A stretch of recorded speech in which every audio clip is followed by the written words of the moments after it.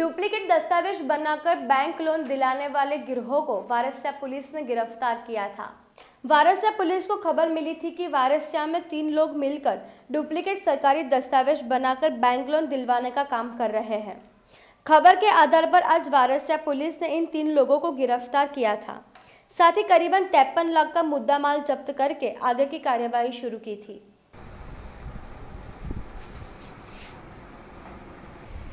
Hey. eso.